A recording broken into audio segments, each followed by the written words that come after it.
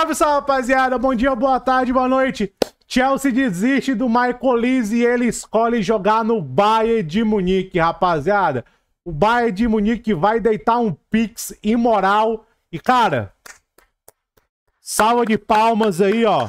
Max Zabel, Christopher Freund, Vincent Company. Cara, convencer um talento de elite, porque é isso que o Michael Lise é. Um talento de elite. Obviamente, a gente vai discutir aqui questão salarial, porque se for verdade as demandas salariais do Olise, realmente poucos clubes na Europa podem pagar isso. E um desses poucos clubes é o Bayern de Munique. Rapaziada, se for verdade o que estão dizendo da pedida salarial do Olise, ele vai praticamente ganhar o que o Bellingham ganha no Real Madrid. Para e pensa. Se for verdade, a gente vai especular aqui, a gente vai ver o que saiu na mídia. Se for verdade, ele vai ganhar o que o praticamente próximo que o Bellingham ganha no Real Madrid. Avalia isso. É bem caro, mano. E realmente o Bayern de Munique é um time que pode investir e obviamente com esse movimento o Bayern de Munique vai ter que limpar a folha salarial, vai ter que vender. Agora, Sané, cara, de verdade, com esse movimento, Sané tá na, tá na pista, se não renovar. É, Coman, Gnabry, velho. Cara, olha lá se não sobrar putel aqui, viu, filho? Olha lá, viu? Mas enfim, rapaziada. Vamos lá, vamos começar. Chelsea saiu da disputa pelo Olise. Vamos começar do começo, né? Ó, sentiu que as, as finanças envolvidas saíram do alcance, né? Aí fala, ó, insiste no plano de recompensar os jogadores atuais do elenco e novos recrutas. É esperado adicionar pelo menos dois novos atacantes, jogadores de ataque. O Chelsea saiu da briga porque sentiu que as finanças. Ó, vamos lá. Até fala aqui tudo mais, papapá, ó. Ah, ó. O Chelsea fez para o que acredita ser feito a proposta mais, fo mais forte, né? Mais forte, mas sentiu que as finanças envolvidas saíram do alcance e escolheu não prosseguir. Ó. A hierarquia de Stanford Bridge tá criando uma, tá tentando criar uma folha salarial mais disciplinada, entendeu? Mais disciplinada. Gente, ó, basicamente o que City e o que o Arsenal fazem. O problema disso aqui do Chelsea, ele fazer fazer isso tendo em vista o salário que foi dado ao Sterling. Se você, cara, se você tira ali o Sterling, a folha salarial do Chelsea está até bem estruturada. Hoje, né? Hoje.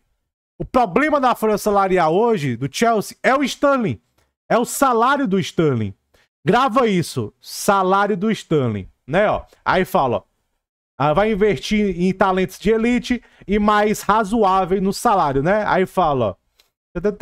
Ó, o Chelsea não tinha dúvida do impacto que teria e tudo mais, as condições precisam ser as certas.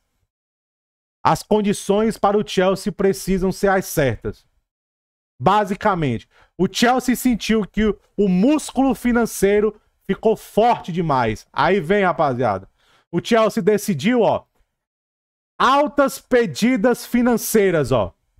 Ó, o Palace ofereceu um novo salário para ele e, e ah, ó, High Financial Request, pedidas financeiras muito altas. O Chelsea decidiu sair da briga. Aí, rapaziada, ó, o Chelsea saiu da corrida, a operação, o valor da multa, comissão dos empresários e, e os salários sentiram que era caro demais.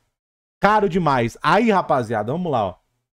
Ó, o Olise estava interessado em ser o jogador mais bem pago do Chelsea. Olha isso, seu jogador mais bem pago do Chelsea. Mas o clube está tentando cortar a folha salarial e sentiu que isso não faz sentido. Vamos lá, ó. Chelsea Capology. Chelsea Capology.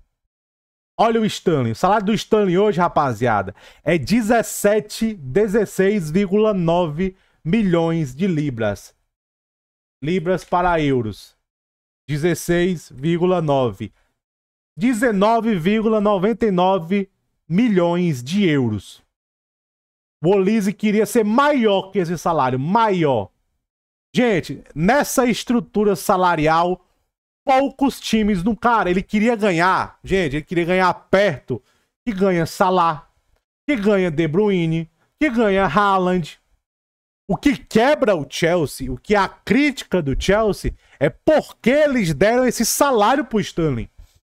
Porque se você pega aqui, até a folha salarial do Chelsea, ó.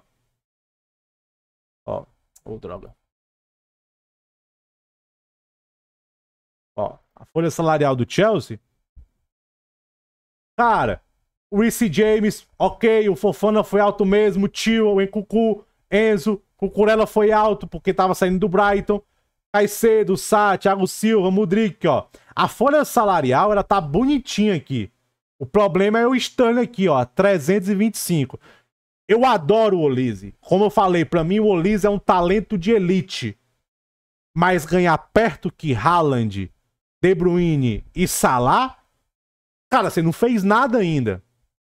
Agora que você fez sua primeira temporada artilheira, você quer ganhar no nível desses caras?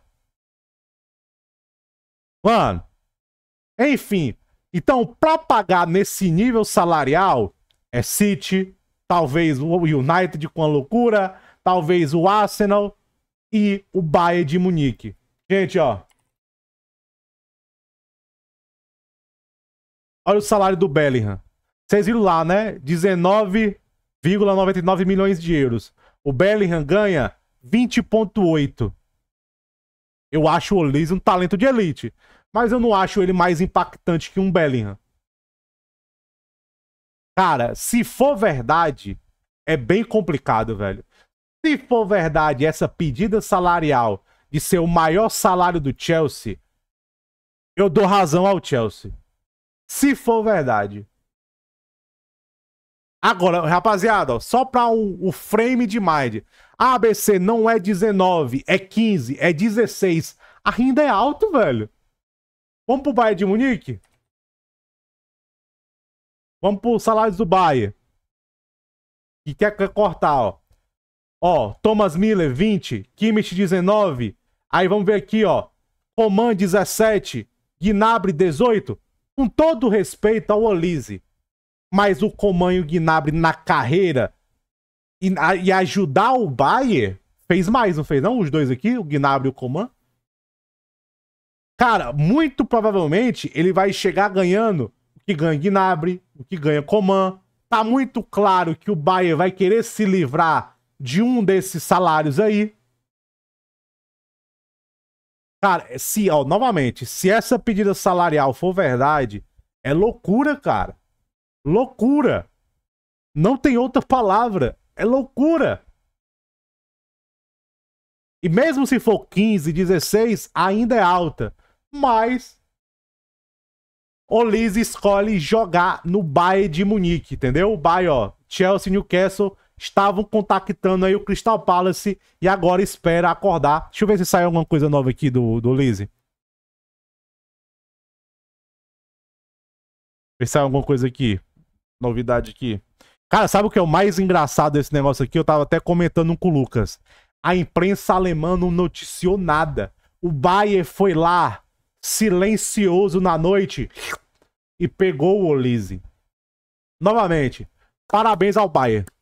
Company, Max Able, aqui é um trabalho, rapaziada, a gente chama de trabalho de recrutamento. Recrutamento. E tirar um talento de elite, de, de elite, como é o Olise, da Premier League, não é fácil. Outra coisa, não é fácil. Não é fácil. E o Bayern conseguiu tirar.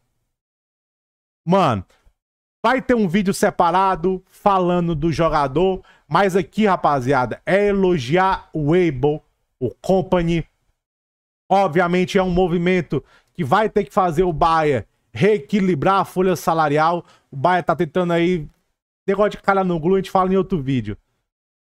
Mas o Bayern, obviamente o Bayern espera que daqui um ano o Thomas Miller saia da folha salarial que o, que o Neuer saia da folha salarial. Mas aqui é um baita movimento e uma excelente contratação, rapaziada. Excelente. ABC mexe no Simmons? Não acho que mexe no Simmons, porque o Simmons seria por empréstimo. Tá uns papos aí de obrigação de compra. Vamos ver.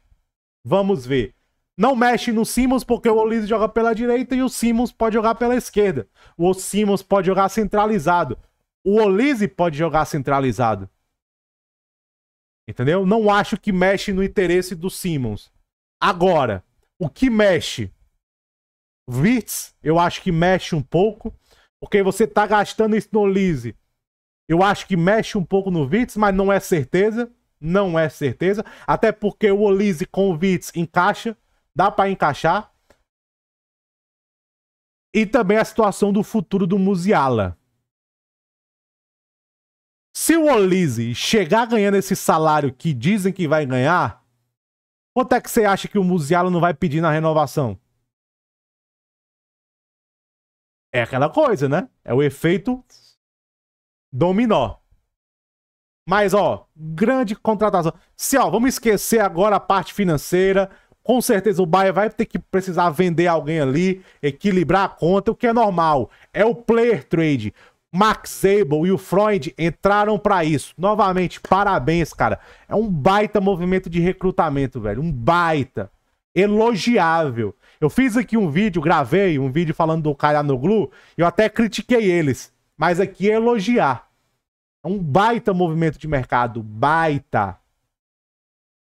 Recrutamento impecável. E um talento de elite, rapaziada. Pode ter certeza. Se o Olise continuar na trajetória da evolução, o Bayern de Munique contratou um jogador para 10 anos. 10 anos. Vou fazer um vídeo separado falando sobre ele, mas o Bayern de Munique contratou um jogador para 10 anos. Tamo junto. Se continuar na evolução.